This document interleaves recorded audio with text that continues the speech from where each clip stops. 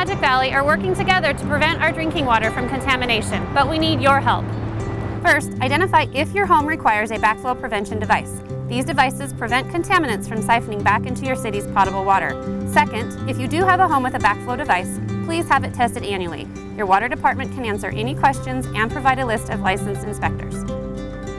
These simple steps can help protect you, your family, and those around you. If you have any questions, contact your local water department.